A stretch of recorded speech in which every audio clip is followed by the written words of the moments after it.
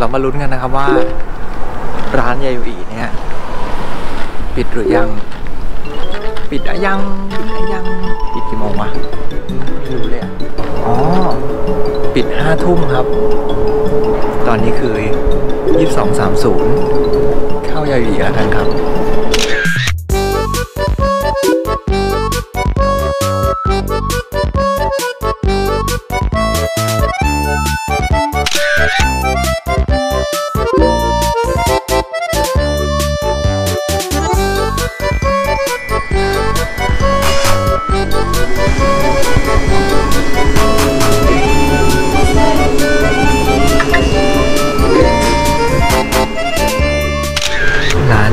ที่ญี่ปุ่นนะครับเขาจะมีการกดออเดอร์ที่เครื่อง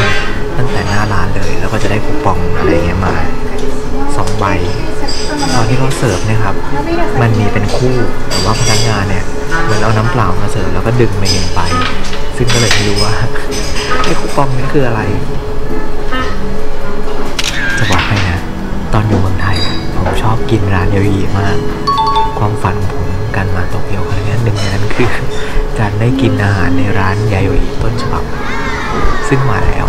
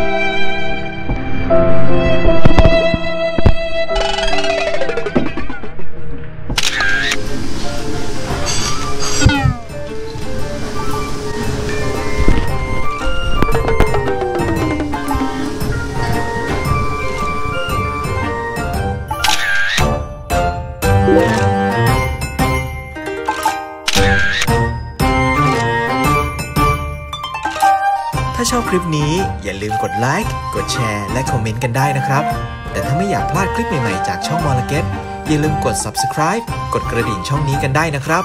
ไซโยนารา